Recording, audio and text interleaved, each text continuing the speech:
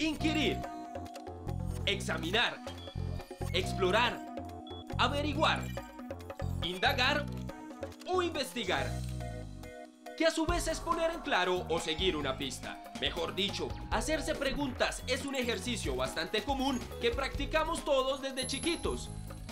Pero hay preguntas de preguntas y hay quienes se dedican profesionalmente a ese asunto de intentar resolverlas.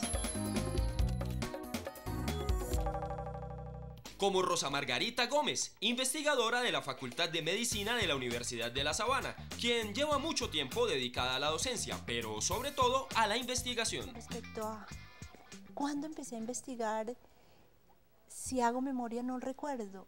Y no recuerdo es porque es, el investigar siempre ha estado conmigo, o sea, va pegado de mí.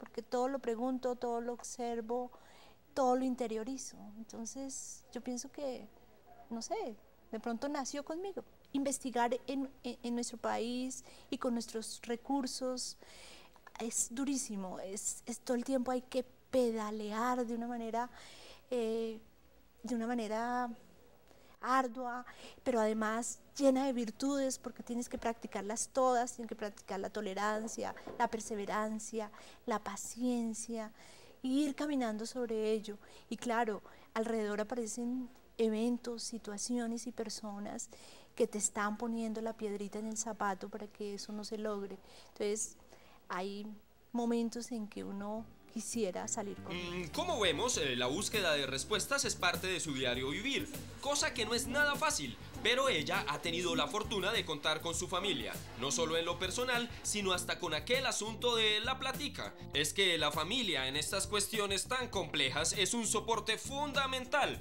a tal punto que se convierte en un gran tesoro. En cuanto a mis hijos, eh, pues los defino como mis dos tesoros. Son ambos súper especiales.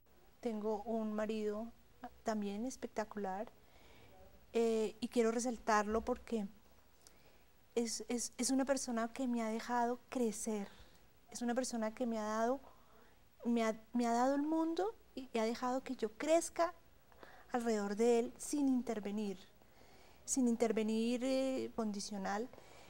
Además, ha sido mi mecenas. Yo a él lo llamo mi mecenas, porque investigar, para investigar se necesita tener plata y recursos, no solamente de la entidad en donde estés y donde te den, sino de las personas alrededor tuyo como la familia. Esa dedicación y acompañamiento le han permitido adelantar importantes investigaciones sobre neurociencias. Actualmente trabaja en su tesis doctoral con énfasis en genética humana y basta solo con leer el título del proyecto para entenderlo todo regeneración axonal en sección medular de rata, estudio preliminar de proteínas sintéticas y cultivo de glía. A mí me quedó clarísimo, ¿a ustedes no? Mi investigación la realizo sobre la médula espinal de unas ratas, corto médula a nivel de tórax y luego añado las células de la glía que son células muy lindas que proliferan y le he con las células unas proteínas que ayudan a mejorar ese camino por donde las células van a correr. Eso hace que los animales o mis modelos experimentales o mis raticas hayan vuelto a caminar. Eso significaría, y es lo que se espera, y es lo que está actualmente en el mundo, que los seres humanos puedan lograr mejorar la calidad de vida. Noten cómo camina normalmente sobre papel. Eh, se desplaza tren trasero. Después de la cirugía, noten que no puede apoyar sus patas traseras. Sin embargo, las delanteras quedan sobre el papel. Pasados 15 días, el remeo de una de las patas posteriores Aquí mostramos nuevamente el control para mirar cómo es el apoyo de estas patas traseras y cuál es el ángulo de la cola. Es un ángulo que se mantiene en estos animales y al final noten cómo el animal vuelve a caminar, cómo apoya, cómo mantiene el arqueo de la cola. Sin embargo, aquí una de sus patas sale hacia afuera.